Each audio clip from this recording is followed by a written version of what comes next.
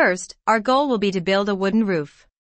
So, we'll place a wooden foundation somewhere in our base, along with a wooden wall and stairs, which are not mandatory but will help us comfortably reach the first floor where the magic begins.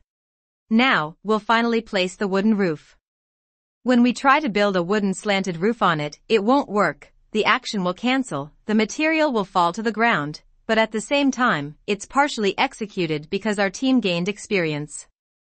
Therefore, if we repeat this action over and over, our XP will happily keep rising. Annoying material lying on the ground cannot be acted upon, nor can it be automatically picked up, but it's a good thing that it bounces around a lot, making room for clicking. Moreover, this activity can be streamlined by building several roofs side by side and then simply moving over them. So, all you need is to stock up on enough wood, and everything should be smooth. Also, try to stay on the edge of the roof and click as close to the center as possible to avoid undoable actions.